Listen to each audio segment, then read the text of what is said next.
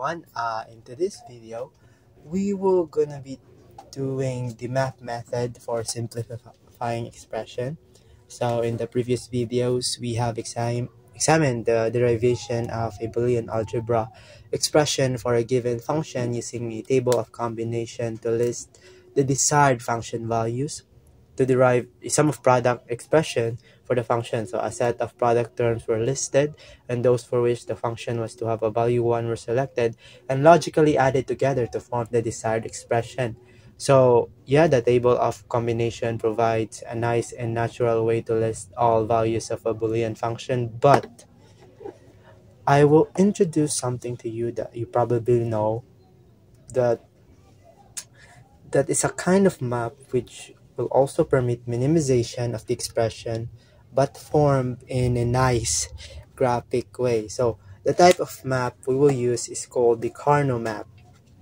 So the diagram in each case, this diagram in each have a, a list that 2 to the n in a different square. So the n uh, is for the how many variables are there. So like this it's 2 to the 2 because we have two variables and 2 to the 3 because we have three variables and 2 to the 4 because we have four variables. So uh yeah given a Karnaugh map form so this this actually if you know Punnett square it's like a Punnett square right?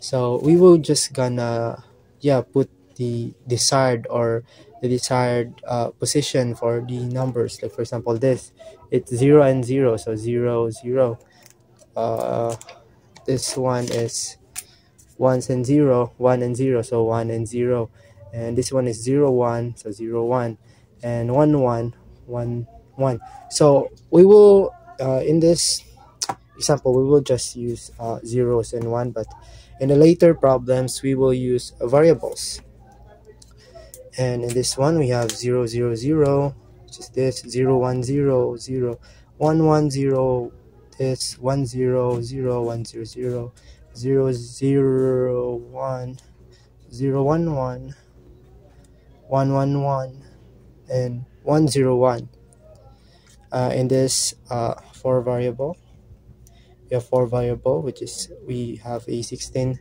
cells. So 0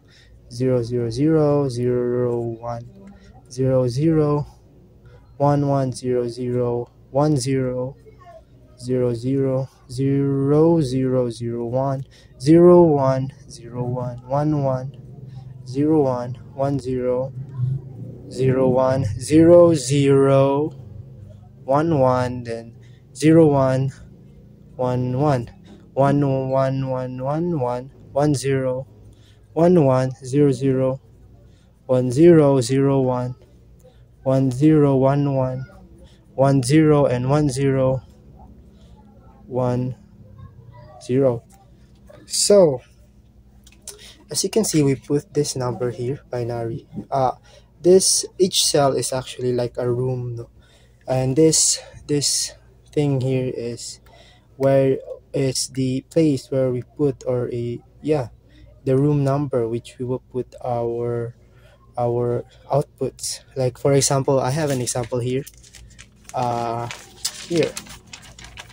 We have a three variable problem which has this inputs and we have output. So in 000 there is a zero output. So as you can see the 0000 is in here. So this this thing uh, this output will we will put this output here. And in uh, 001 which is 1 in decimal we have a 0 output. So we must find 001 we have a 0 output so we will put it here. And the 010 which is a 2 which is this uh yeah.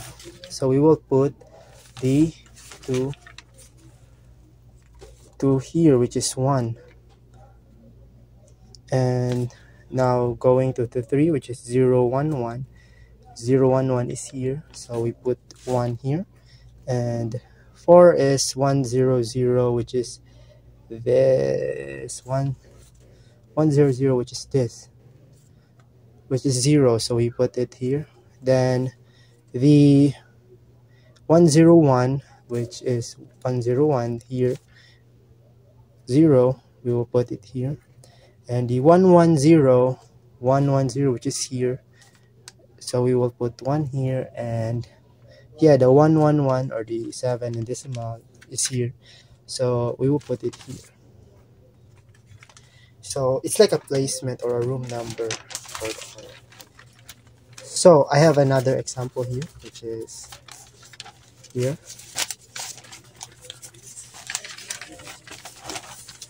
it's a 2 to the 4 we have 16 cells here because we have four variables.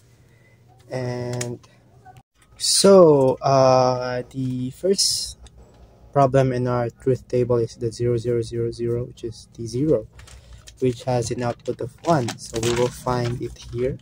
The 000 or the 0 is placed in in this cell. So we we will put a 1 in this cell and the next one is 0001 which is a 1 binary 1 so 001 which is here which is the output is 1 so we'll put a 1 here.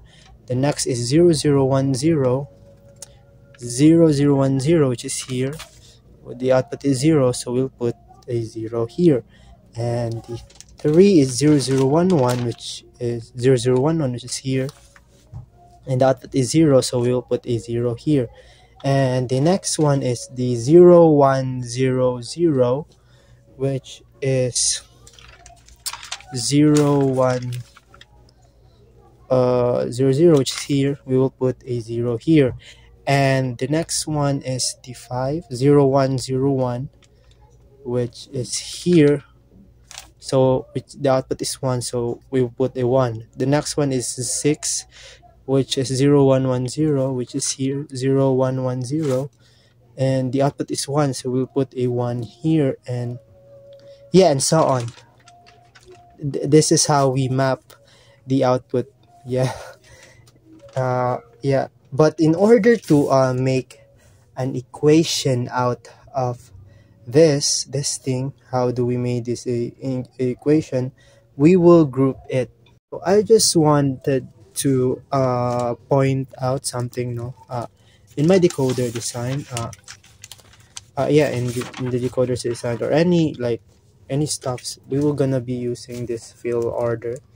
Uh, there is actually no fixed fill order for your K-map because it depends on how you want to populate it and the kind of truth table you're your boolean boolean expression you want to simplify. So but in my decoder design we will use this because yeah it's kind of widely used this this fill order. So we will use this. So now we will group now uh, we will group the we will now go to grouping rules.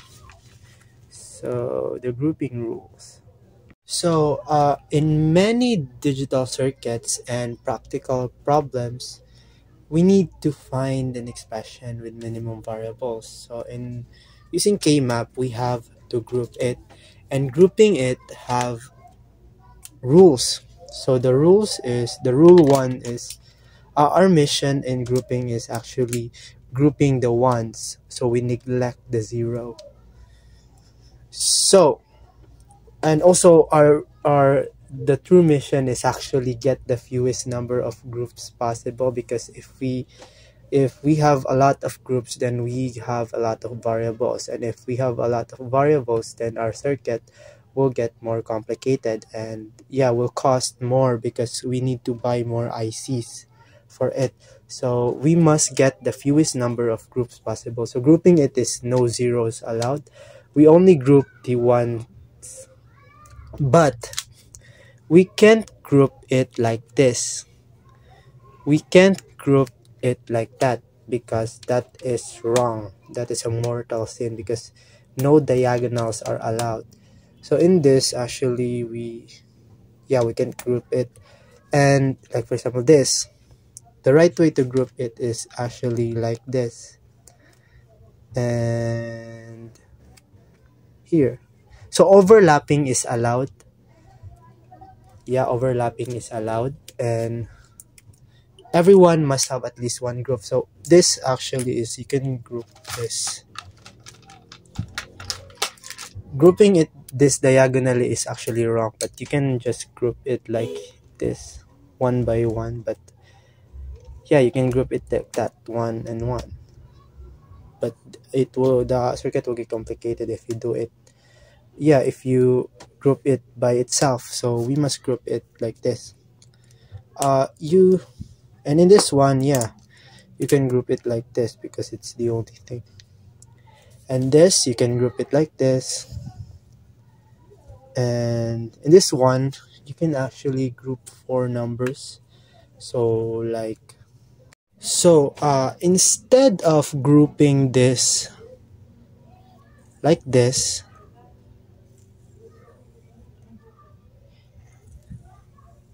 you can actually make it more uh yeah simpler.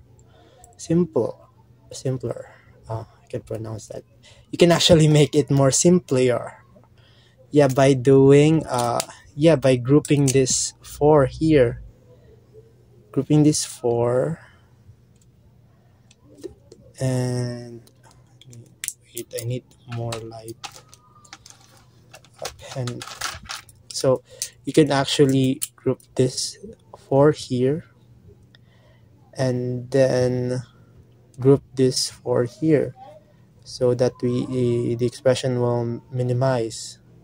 Because having three groups is is more variables and more variables means more more circuit will be complicated. But having two only which is this and this will get us a nice and simple circuit so one thing i'd like to point out is you since we are only grouping one you can yeah you can group the zero. So that is wrong. And the this is actually this is you can actually group it like this. Like this. Which is uh which is nice but it you can also get this in a more simple way by grouping this all here and this all here. So that's how you group it. So the first first rule is no zeros allowed. We can't group the zeros and no di diagonals. So only power of two number of cells in each group. Groups should be large as possible and ev everyone must be in at least one group so you can't leave a one behind. So overlapping is allowed. Overlapping is allowed. Wrapping around is also allowed. And yeah the mission is to get the fewest number of groups as possible. So that is the grouping rules of the Karnaugh map. And we will in the next video we will then try a decoder to group our decoder. We will make a decoder part for so we can yeah we can see the boolean expression. We gonna construct our circuit. So i think that would be all in this video. See you on the next one